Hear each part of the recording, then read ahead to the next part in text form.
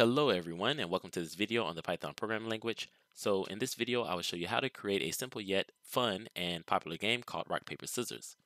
The game Rock Paper Scissors is a hand game that is usually played with two people although it can be played with more with hand gestures and the hand gestures resemble either a rock with a closed fist, scissors with V-shaped fingers, or a paper with a flat hand. Now paper beats rock, rock beats scissors, and scissors beat paper. The two or more players will simultaneously choose their hand gesture, so either a rock, paper, or scissors, and a winner is determined depending on which gesture beats the other. If the gestures are the same, then it is a tie and neither player wins. Okay, so with all that being said, before we begin, if you like the videos on this channel, then be sure to click that subscribe and like button. And to be notified about new videos from this channel, hit that bell notification. Now, I'm currently on Google's website called colab.research.google.com, and I'm on it because it makes it really easy to start programming in Python. So all you have to do is go to this website and then log in using your Google account and get started writing your Python code. So to get started writing this code, go ahead and click on File, then click on New Notebook, and a new tab open up for you, and then eventually a new cell. And in this cell, I'm going to put a description and comments about the program. So I'm just going to put rock, paper, scissors program. And next I'm going to go ahead and create a new cell by clicking this code button in the top left. And in this cell, I'm going to import the libraries that I plan on using throughout the program. So I'm going to import random. And then I'm going to run this cell by clicking this button here to the left. And this will also let me know if I made any mistakes. Okay, so it looks like I'm good. So I'm going to go ahead and create a new cell. And now in this cell, I'm going to create a list of choices. So that or those choices will be rock, paper, and scissors. So I'm going to create a variable called choices and I'm going to set it equal to a empty list and then I'm going to input R for rock. I'm going to input P for paper and S for scissors. And I'm going to go ahead and run this and create a new cell. And now I'm going to create a function to get the full spelling of rock, paper, or scissors from just those letters. So let's go ahead and call this function get underscore choice. All right, so get underscore choice is going to take in some input. And I didn't mean to do that, but let me go ahead and go back up to the cell here. All right, so let's put in a few if statements. So I'm going to put if input equals R, then I'm going to return rock. Okay, else if the input equals P, I'm going to return paper. Else if input equals s, I'm going to return scissors. Okay. Else, I'm going to return not R, P, or S. Okay, so let's go ahead and run this now. And that looks good. All right, so let's go to this next cell that I created by accident and let's start writing the actual game.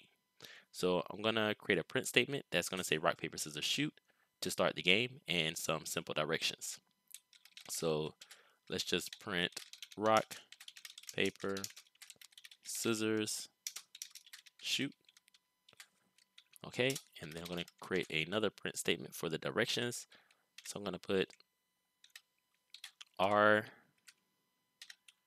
equals rock, P equals paper, and S equals scissors.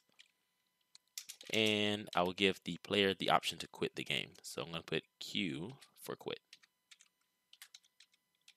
All right, so let's go ahead and just run this just to check it out. Okay, so that looks good. Let's exit that. Okay, so now I'm going to create a counter for each game. So I'm going to set a counter equal to 1. So I created this variable called counter, and I set it equal to 1. And I think that's good enough there. I'm going to use that counter to keep track of all the games. So now let's have the game run forever. So while true, we're going to start the game. So I'm going to first print the game and the game number. So I'm going to put a space here and I'm going to append the counter but I need to, I need this to be a string. So let's go ahead and go back here and let's cast this as a string. I'm going to put counter here. And then I will go ahead and append a colon as well. So now it will say something like game one, then game two, then game three, etc. Okay, so next I'm going to print, please choose a letter. All right, so we will be asking the user to choose either R, P, S, or Q. So let's go ahead and get the user's choice.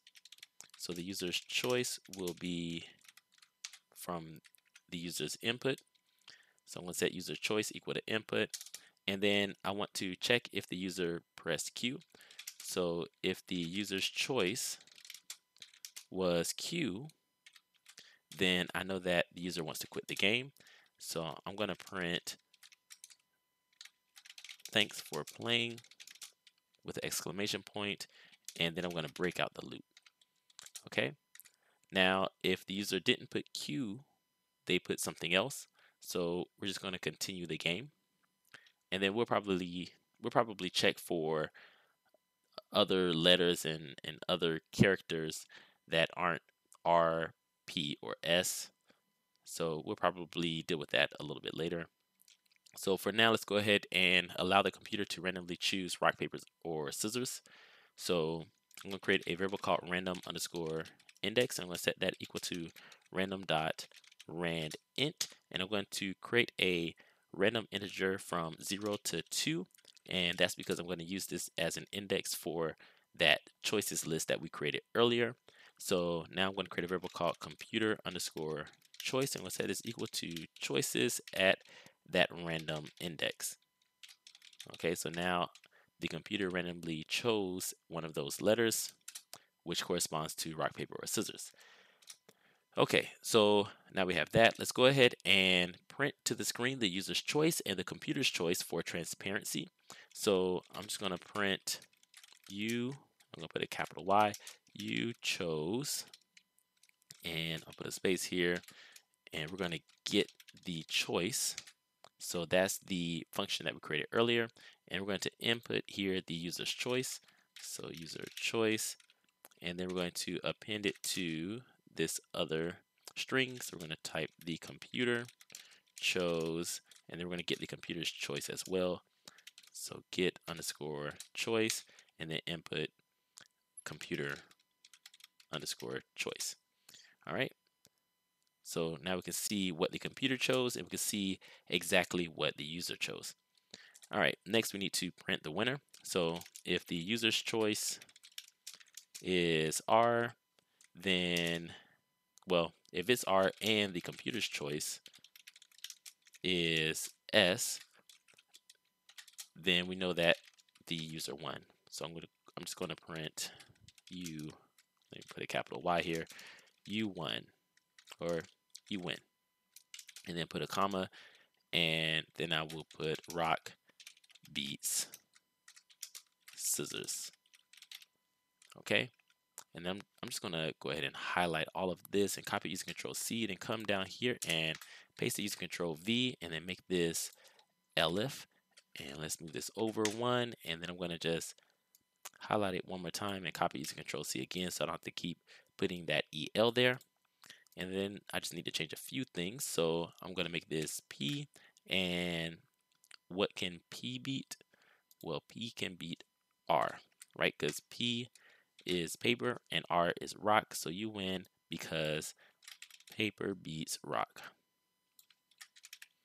All right, so now let's just paste this again using control V. So we have rock, we have paper. Next one is scissors with S. And what can scissors beat? It can beat paper. So here we say you win because scissors beats paper. Okay, all right, so now those are all of the cases when the user wins. Let's go ahead and print all of the cases when the computer wins. So I'm just going to do control V again. And I'm going to use um, let's see, we'll, we'll go ahead and use RPS again. So user's choice is R.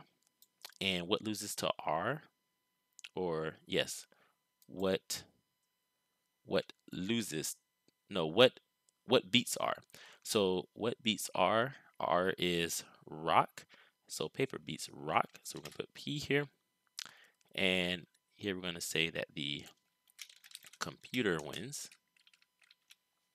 And the computer wins because paper beats rock. Okay? All right. So now I'm just going to highlight this, copy using Control C, and then paste this using Control V. All right, so we have rock, next is paper. So now I need to know what beats paper. So that's scissors. So that's S. And here I'm going to put computer wins because scissors beats paper. Okay. All right, and then Control V one more time. We have rock, we have paper. Now we need scissors. And what beats scissors? Rock. So we're going to say computer wins because rock beats scissors. Okay. All right. And then we need to test for or check for when they choose the same letter. So else if user's choice is equal to computer's choice. If it is, then we're going to print it's a tie. I'll put it is a tie. Okay. All right, so I think that looks good. Next, let's go ahead and increment that counter. So I think I called it counter. Yep. So I'm just going to highlight that, copy using Control C, come down here and paste it using Control V. And I'm going to set counter equal to counter plus 1. And then I'm going to print a new line. Okay, and one more thing here actually. I'm going to put an else statement here. And then I'm going to print please enter P or we'll do R, rock, paper, scissors, or Q. All right. Okay, so that's our our check there, our error check. Okay, so let's run this now. All right, so here we are, rock, paper, scissors, shoot. R for rock, P for paper, S for scissors. Actually, let me change that. I have a period there. I didn't realize that. So let's go back up right here. Okay. So let's get rid of that period. Let's go ahead and run this again. All right. So rock, paper, scissors, and Q for quit. Good. So game one, please choose a letter. So I'm going to choose R.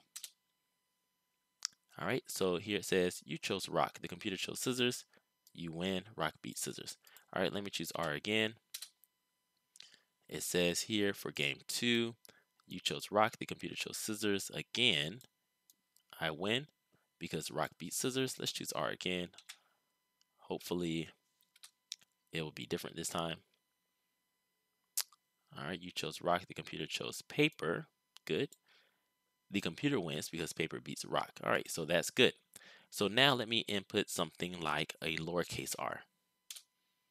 Okay, so here it says please choose a letter. I input R it says you chose not R, P, or S because it's not capitalized. And it tells me that the computer chose rock and it tells me to please enter R, P, S, or Q. Okay, which that's exactly what we expected. And let me put in Q here. And let's go down. We see that the program has stopped. And it says, thanks for playing. Okay, so that's basically it. Thanks for watching the video, and a special thanks to the Patreon supporters on patreon.com. If you would like to become a supporter of this channel, I will leave a link in the description below. So thanks again for watching, and I hope you all have a great day, and see you in the next video.